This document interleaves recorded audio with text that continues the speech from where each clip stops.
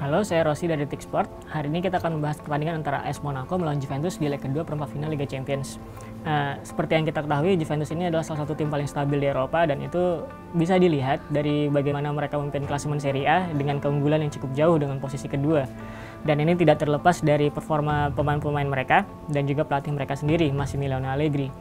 Saya pikir Allegri ini pelatih yang cukup berbeda dengan pelatih Juventus sebelumnya yaitu Antonio Conte, di mana Allegri ini pelatih yang cukup bisa menyesuaikan skema timnya menghadapi lawan yang akan dihadapi. Dalam artian Juventus ini tidak saklek dengan satu formasi atau taktik, tapi juga bisa berganti-ganti formasi dan berganti-ganti taktik.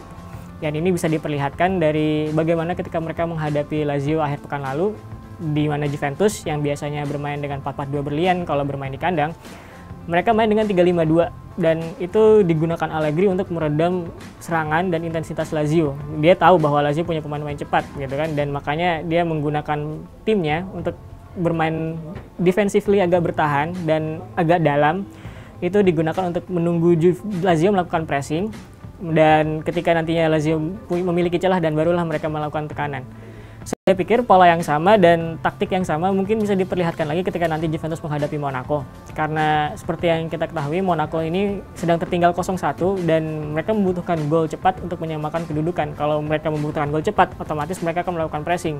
Jadi ketika mereka melakukan pressing, ada kemungkinan bahwa Juventus akan bertahan agak dalam sembari tidak melakukan justru tidak melakukan pressing dan menunggu eh, Monaco untuk kehilangan bola dan juga melakukan serangan balik setelahnya. Saya pikir Juventus punya keuntungan tersendiri dengan bermainnya Arturo Vidal ditemani oleh Claudio Marchisio dan Andrea Pirlo. Dengan tiga orang ini di lini tengah minimal Juventus bisalah mendominasi pertarungan di lini tengah karena Monaco sendiri tidak akan tampil tanpa Tulalang dan juga Kondobia dan ini menjadi kerugian tersendiri buat mereka.